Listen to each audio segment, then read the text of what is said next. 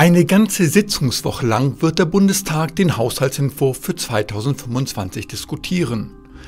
Erst vor kurzem einigte sich die Ampelkoalition nach langem Gezerre auf letzte Details. Ein Finanzloch aber blieb.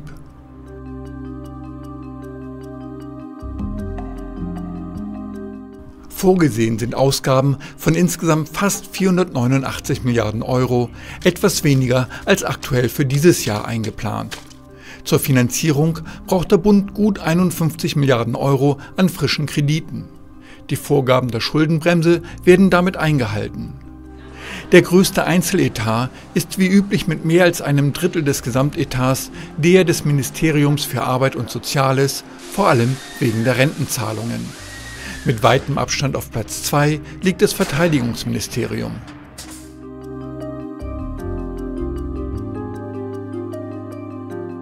Es handelt sich um eine sogenannte globale Minderausgabe von 12 Milliarden Euro. Das bedeutet, dass dieses Geld eingespart werden muss, es ist aber nicht festgelegt, wie genau das geschieht.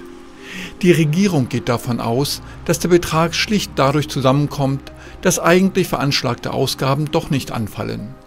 Sie rechnet außerdem damit, dass sich die Lücke noch weiter reduziert.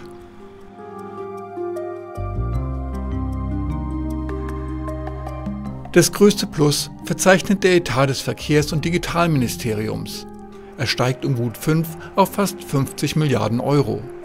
Deutlich angehoben werden insbesondere die Ausgaben für den Breitbandausbau, auch für Erhalt und Ausbau der Schienenwege ist mehr Geld vorgesehen.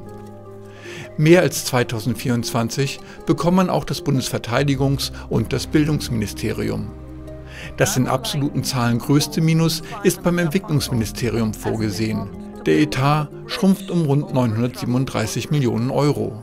Auch das Wirtschaftsministerium und das Auswärtige Amt müssen mit weniger Geld auskommen.